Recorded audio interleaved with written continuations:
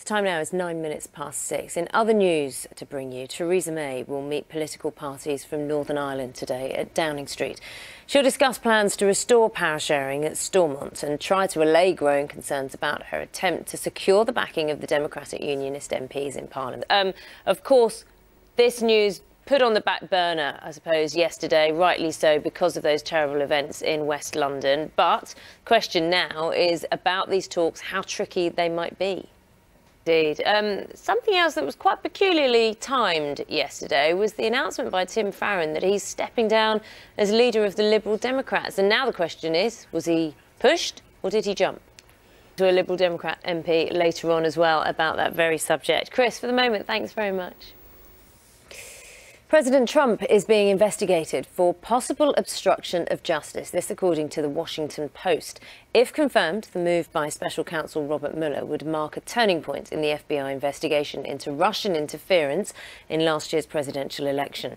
Yeah, this is really good news if you're somebody who, you know, like goes goes abroad in, in, into Europe and then, you know, wants to use their phone and ends up having I, to pay massive bills for using it for the roaming charges. Everyone's faced at some point. I turn my roaming off. Yeah, good. But well, then I then I talk to no to. one while I'm on holiday. Yeah, exactly. Well, you probably have a better holiday for it. but now these some people saying, does this mean I can get a really cheap Spanish phone provider, mobile phone deal provider, and then get abroad and not face any extra costs? You're going to be talking to the boss of three, three later yeah. on. One thing I've noticed, perhaps you could talk to him about this, is that mobile phone providers are saying, oh, and we give you free EU roaming. Yeah, and no, it's, it's already part of it. So yeah. to be a bit more wary about the packages now. Yes, because you might see, although we haven't seen it yet, you might see tariffs start to go up to account for the costs. But, but it costs nothing. Yeah, but we're going to be talking a bit about that a bit later on. Steph, thanks very much. Time now is 17 minutes past six. Plenty going on in the sport, Mike. Party. A party they've been building up for towards two years or so now, thinking they were going to win. Yeah. Maybe that was the mistake. I'd have to punch, kick, wrestle on the floor, but this will just be about the noble art of boxing. Noble art of boxing. Mm. OK, be good to watch. Thanks very much, Mike. 18 minutes past six. Let's talk to Sarah. Let's find out what's happening with the weather. It's been glorious so far this week. Um, is it set to continue, Sarah? So for most players, that rough would come up to their knees. For me, I'd probably struggle to see over the top. For us, it would probably go up to our shoulders, wouldn't yeah, it? Yeah, so difficult to play in. But yeah, makes, I think it's the longest course as well in US Open history as well. I think we're going to find this one fun to watch. I think so. It makes it more exciting to watch, doesn't it? All right, Mike, thanks very much. Time now is 20 minutes to 7. Sarah will bring you up how, actually, when a fire does take place in a tower block, it should be contained. Why hasn't this moved on? Why haven't we seen developments? Darling, uh, thank you very much for joining us this morning on Breakfast. Time now is just coming up to quarter to seven. Of course, the Grenfell. Let's find out what's happening with the with the weather this morning. Well, I can tell you, I knew knew it was pretty warm last night. It was pretty warm this morning. Is it going to last? Oh, US, Steph, morning. Yeah, morning, Naga. I mean, we have been talking now for years about how low interest rates have mm. been here. And so what you have is you have a group, things are picking up, therefore they should increase uh, interest rates there. So the rate that they have, they're up again before Christmas. So people are wondering, does that mean we're going to be putting them up too? It's unlikely because our economy it's interesting that economies are so divergent at the moment in yeah. some sense. OK, Steph, thanks very much. Time now is David Amess, who is the chair of the all-party parliamentary fire safety rescue group and joins me from Chelmsford. Thank you very much for joining me this morning. Um, what do you think went wrong?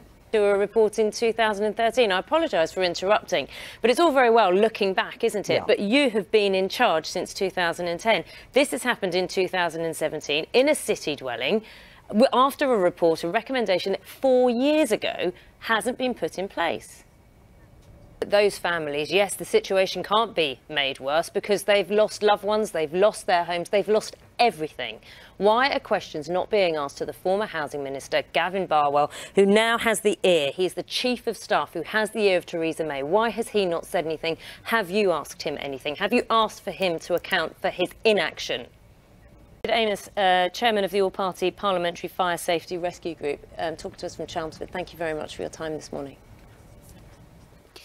Time is 21 minutes.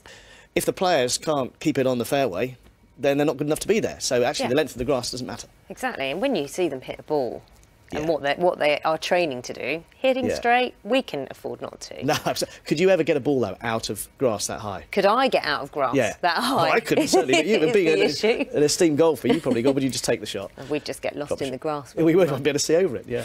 Thanks very much. See you later. Time now is 20 minutes to 8. Tim Farron announced he would be stepping down less than a week after the general election. So, Yeah, these are changes to the rules when it comes to using your mobile abroad. So, get in the UK. There are some caveats to this, though, as always. If you're on an unlimited data pack, uh, the terms and conditions for your mobile provider, and also trees. so it's free but not free.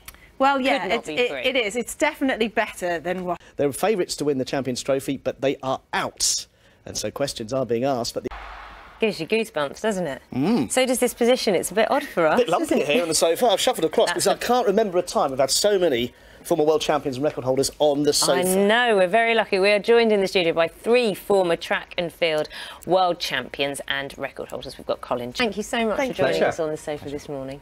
Uh, 8.52. Do you want to do this bit? What the weather with Sarah? Let's have a look.